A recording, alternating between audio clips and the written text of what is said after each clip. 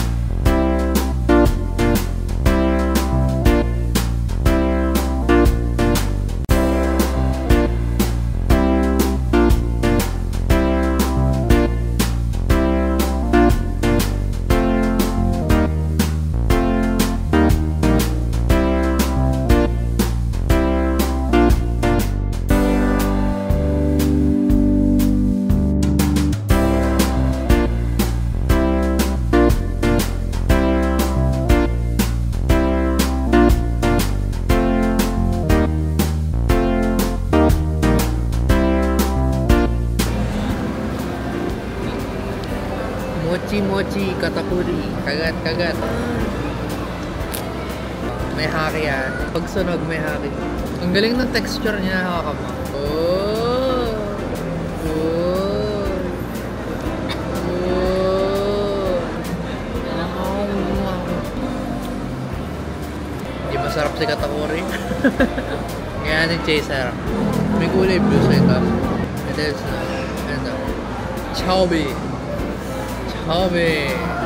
Akin lang to na meron kaya. Bigay ito ng ating mommy. Sugar mommy. Helmet. Tubol. Tubol. Ang weird. What? Meron pa na. Naging mukbang. Ayan, sunod. Mula to sa West Philippine Sea. Tingin ko na. Fair and square. Ayan, wafer. Ayan, loob niya. Mga normal na wafer lang.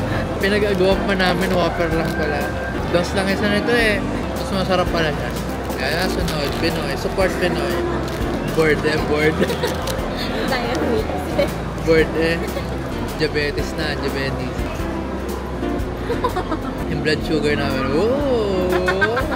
No, ganun. wow, support local. Ay, hindi ko nadurog muna. Matay. Naman no? Masarap pa rin. Pinoy number one. 55 lang yan. Isang balot. Mm, one dollar, isang balot. Isang tao. It's in the bag. Share ko lang.